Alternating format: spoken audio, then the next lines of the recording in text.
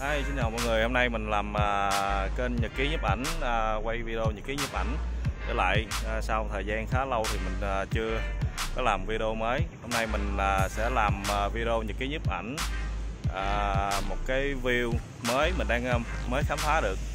À, hiện tại là mình đang ở đây là khu dân cư Kim Sơn ở quận 7 bên kia là có à, những cái tòa nhà đó đối diện với lại à, siêu thị Lotte Mart đó đây để mình là quay cái view cho các bạn thấy cho nó rõ ha. Đây là cái view hôm nay mình chụp mà ở đây là đường vô à, khu dân cư Kim Sơn ở quận 7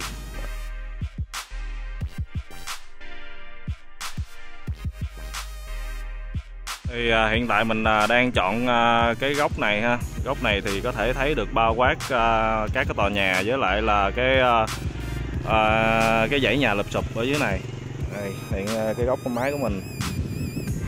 À, đây là trên màn hình ờ, máy ảnh của mình. Đó thì ở đây mình canh cái con nước thủy triều. Nó đang là nước lớn ha. Thì để thứ nhất là mình có thể soi bóng được nó ở dưới nước thứ hai thì uh, giống như uh, ban đầu mình nói đó nội dung uh, trong cái bức ảnh nó rất là quan trọng để uh, mọi người có thể ấn tượng được cái bức ảnh của mình thì cái nội dung truyền tải trong bức ảnh nó mới uh, quan trọng hơn là cái kỹ thuật uh, mình chụp.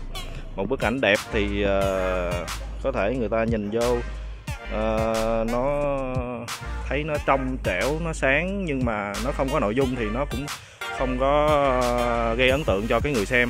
Thì nếu mà một cái bức ảnh một cái bức ảnh à, có thể nó không có trong trẻo nó không sáng nó không rõ nhưng mà mang lại cái nội dung mà ấn tượng cho người xem thì à, nó vẫn là một cái bức ảnh à, à, đạt yêu cầu. Thì à, ở đây nó có hai cái hình ảnh tương phản. Một là những cái à, tòa nhà cao tầng.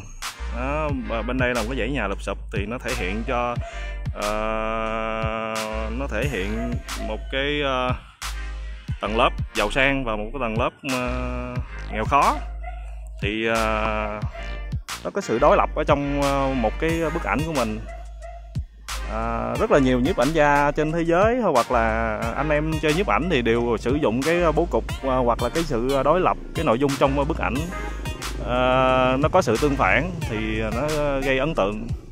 Còn à, nếu mà một cái bức ảnh nó chỉ là thiên về phong cảnh đẹp thì nó không có nội dung gì hết thì ờ, khi người ta xem qua người ta không nhớ. Không nhớ ờ, là cái cái bức ảnh nó mang cái nội dung gì hết.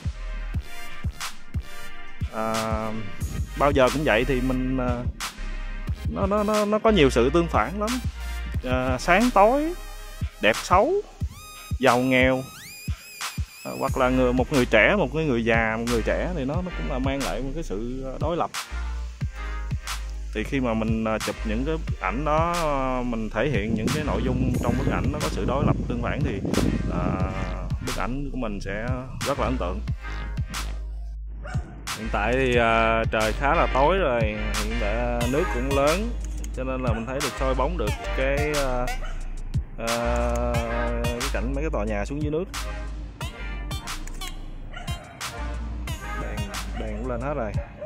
Đây hiện tại mình đang chụp tham láp